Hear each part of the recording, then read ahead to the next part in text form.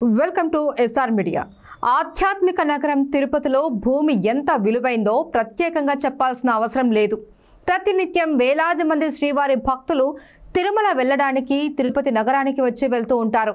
తిరుపతిలో లక్షలాది మంది ఇతర ప్రాంతాల ప్రజలు వ్యాపారాలు ఉద్యోగాలు కూలి పనులు చేసుకుంటూ జీవనం సాగిస్తున్నారు. తిరుపతిలో పుట్టి పెరిగిన వారికంటే ఇతర ప్రాంతాల నుండి వచ్చి సెటిల్ అయిన వాళ్ళు లక్షలాది మంది నివాసం ఉంటున్నారు తిరుపతి నగరంలో సెంటు భూమి కొనాలి అంటే సామాన్యుడికి చాలా కష్టం అనే విషయం ప్రత్యేకంగా చెప్పవలసిన అవసరం లేదు. అలాంటి తిరుపతి నగరం నడిబొడ్డున కోట్లాది రూపాయల విలువైన భూమిని కబ్జా చేయడానికి అనేక ప్రయత్నాలు జరుగుతున్నాయి. తిరుపతి నగరం నడిబొడ్డున ఉన్న పాన్ చెరువును ఆక్రమించిన కొందరు పెద్దలు దాన్ని చదును చేసి ఫ్లాట్లు చేసి విక్రయించడానికి అనేక ప్రయత్నాలు చేస్తున్నారని ఆరోపణలు ఉన్నాయి.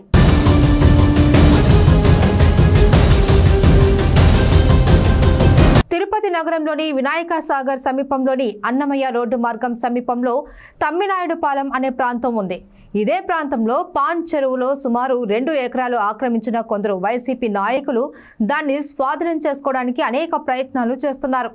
గత వైసీపీ ప్రభుత్వంలోనే మొదలైన ఈ తతంగం గురించి తెలిసిన సంబంధిత రెవెన్యూ శాఖ అధికారులు నీటిపారుదల శాఖ అధికారులు దాన్ని అడ్డుకోకుండా ఆ నాయకుడికి సలాం చేస్తూ డబ్బులు వసూలు చేశారు అని ఆరోపణలు ఉన్నాయి.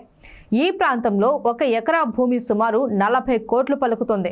పాన్ చెరువులో దాదాపు రెండు ఎకరాల భూమిని కబ్జా చేసిన ఆ నాయకుడు దాన్ని చదును చేసి ఆక్రమించుకోవాలి అని అనేక ప్రయత్నాలు చేశారు. గత వైసీపీ ప్రభుత్వంలో పాన్ చెరువును కబ్జా చేయడానికి ప్రయత్నాలు చేయడంతో అప్పట్లో తిరుపతి టీడీపీ నాయకులు పాన్ చెరువు కబ్జా కాకుండా అడ్డుకున్నారు.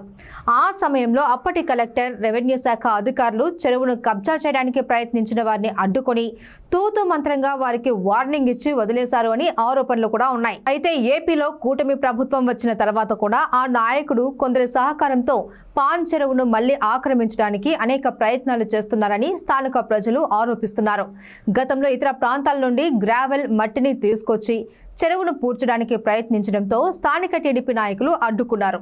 ఇప్పుడు గ్రావెల్కి బదులుగా గ్రానైట్ రాళ్ళు వేస్ట్ మట్టిని తీసుకొచ్చి పాన్ చెరువును మూసివేయడానికి ప్రయత్నిస్తున్నారని స్థానికులు ఆరోపించారు. సుమారు డెబ్బై కోట్ల రూపాయల విలువైన పాన్ చెరువును కబ్జా చేయకుండా అడ్డుకోవాలి అని తిరుపతి టీడీపీ జనసేన బీజేపీ నాయకులు చంద్రబాబు నాయుడు ప్రభుత్వానికి లేఖ రాశారని సమాచారం.